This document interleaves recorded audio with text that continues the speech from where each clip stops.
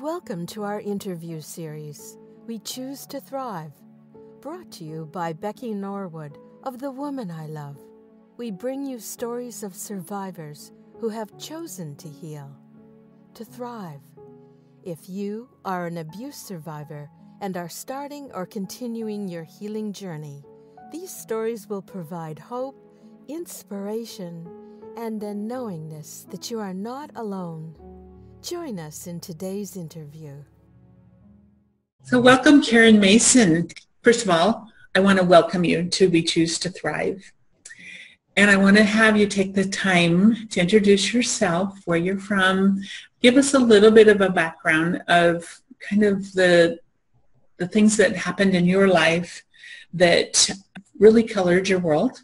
And then we'll go into what you've done to to be well, begin to thrive in your world? My first recollection um, was when I was just a, a wee one. Like I, re- I think I was four years old, but I remember it vividly. And um, my my parents' friend's neighbor uh, was babysitting us. They used to do that back in those days. You know, they were in the military and were in a remote radar station, and these people were neighbors, so they would just trade off and look after each other's kids. And I remember Mr. M. um, ex- he he exposed himself to me in the bathroom, and I was taken aback. And I remember the and I remember later that night he was just like, "Let's play doctor." And I said, "What's that?" And he says, "Well, I'm sick, and you and you're a nurse, and you have to make me feel better. You're a doctor, and you have to make me feel better." And I'm like, "Yeah, I don't want to play that game."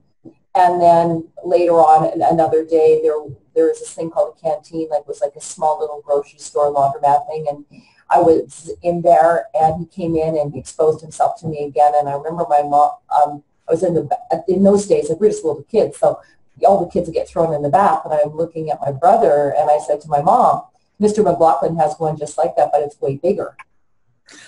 And my mom was just, yeah, my mom was just like, oh. She went to the base, she, she went to his wife and she just said, if he ever comes near my kids again, I'm going to, I'm to tell the base commander. So that was my first one. And I don't, I don't ever remember being traumatized by it, but I just, that's my first memory as being a little child, that happening. Then when I was 10, my mom sent me, my mom and dad sent me to stay with my uncle and his, and his wife. And my uncle he he um, sat my brother and I down when we got there, and he pulled out all these porn magazines and said that he was going to teach us about biology. He would have Jamie and I sit there and go through these porn magazines, and we weren't allowed to wear underwear to bed. And I remember waking up, and I I just knew that something had happened. So there was that, and he, I remember him wanting to rub um, lotion, and it was the summertime, he, and at 10 years old, he wanted to rub lotion on my chest and insisted on it, which of course wasn't appropriate, my naked chest. You know, I, I don't feel those things marked me too badly. I think the first, the first time that I was truly assaulted, where I, where I was conscious that I was being assaulted, was really traumatic, and I, I wore that one for 20 years. I was working in a, um, in a for a credit union or a bank. Uh, do you have credit unions in the states? So I was working for a credit union in this private office. It was a remote private office, and there was a whole team of admin people like myself, and then the, the managers. I wasn't popular in this work environment. The women the women didn't care for me at all. Um, they were actually very mean to me. They bullied me, and I was very much excluded um, from any of their social. Like they'd go out for lunch every day I was not invited. So I was always left behind alone in the office. And one manager picked up on this. He befriended me. So I thought he was the one person who was going to be really nice to me. Oftentimes, and, I, and in those days, I was riding my bike to work a lot because I was I, I was so poor I, I couldn't afford the bus, so I, I, rode my bike to work. And sometimes the weather was really really bad, and he would offer to give me a ride home and stuff like that. he was just so so nice to me, and then we had our Christmas party, and I hung out with, with, with Jim at this Christmas party. And he asked me at this Christmas party, would you like to share a cab ride home? And I'm like, sure, that would be great. So we leave, we leave the Christmas party. To this point, I think it's all good. We leave the Christmas party. We're, we're heading back to, to, to drop me off. And he says, hey, are you hungry? Do you want to stop by A&W and grab a burger? And I'm just like, sure, that'd be great. So we, so we're in a cab we pull into the A&W. In those in those days, you you you, you parked and they brought the food out to the car, kind of thing. So we've got our burgers. We're in the back of the car, and he and he starts to molest me, and I started screaming to stop, and he got very aggressive, and I was screaming, "And please stop, please stop!" And the cab driver did nothing. He let Jim assault me maybe culturally for this cab driver, this was the norm. I don't know. But I got assaulted by Jim and I screamed and I screamed and I finally got him to stop in time and I got taken home. I was I was just floored by it. I, I didn't understand it. I, I didn't understand what I had done to, to, to, to, he had a pregnant wife at home to boot. So I didn't know what I had done to create, like I didn't think I was, because the girls always accused me of flirting in the office. So I thought, I didn't think I flirted with them. I was very friendly, but I didn't think I was flirting with them. So fair enough. And, and so time goes by and um, the girls again, you know, shortly thereafter, they, they go out for lunch. They leave me behind in the office as usual. And Jim come, Jim's hanging back in the office. And he shoves me into a corner and he assaults me again. He's got his tongue down my throat and he's attacking me. And I screamed and I got him off of me again. And I went into the bathroom and I'm in the bathroom and I'm bawling my eyes out and I don't understand what's going on. And one of the girls came back from lunch. She sees me in the bathroom bawling my eyes out and she says, what's going on? And I, I told her, I said, Jim just assaulted me. This is what just happened. And she goes, well, you deserved it. And I bought it. I went, and I, to me, that is the hardest part of this whole story was that the women thought I deserved it. The next day I was fired from the job. And I mean, those days jobs were, were scarce. So I, was so not only was I accosted in the office, I was also fired. But because it was my fault, I never did anything. I never said anything. And it was the managers who fired me. It was a manager who assaulted me. So I didn't feel I had any say. this was this was like 30, 30 years ago. This was in 1980, 1985. So that rocked my world. I was now unemployed. I had no job. I had no money. I was broke. I was assaulted. It was my fault. It was shaming. I was full of guilt. I didn't understand. Following that assault, I had a couple of date rapes. I earned those ones as well. And to pack around that guilt for so long was, was incredibly, incredibly painful. I'm sure it was. And then, of course, my self-esteem's in the toilet. Where are you now with, with all of this? Because we have a good picture of what happened, and this is typically what happens to many of us. Mm-hmm.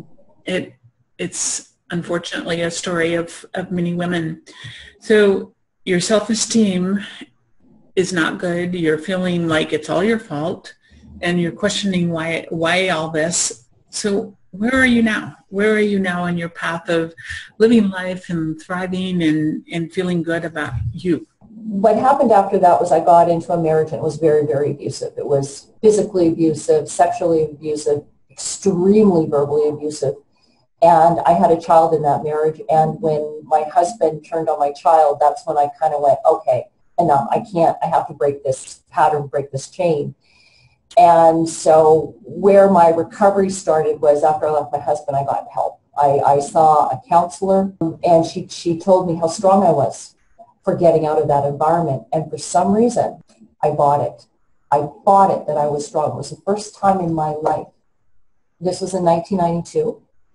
It was the very first time in my life I actually believed I was a strong human being because up until that point, up until that woman told me that, I thought I was one of the weakest human beings. I thought I was lower than pawn scum, no self-confidence, wasn't worthy of anything, wasn't worthy of love, wasn't worthy of anything at all. So today, I mean, I've done a lot of work. I, I you know, I went to Procalicious, as you and I are very much aware. But beyond that, I, I've taken something in Canada that's called the Pursuit of Excellence, about accountability and about it somewhat to do with law of attraction, but not really. There was just a, a, a ton of self-work. So today, I am confident today. I feel really good about myself. I feel good about how I look.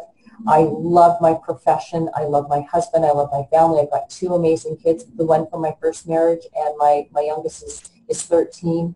I have learned that I'm, I'm, I'm worthy of respect. And that is really, really important to me that, that people that are in my inner circle, people around me respect me. And I, I, I've achieved that. I've got a thriving business. I've got, I've, I've got it all. I've got, I'm just so full of abundance in my life now that if what I would like to share with women is I've been through my own personal hell with, with different levels of abuse.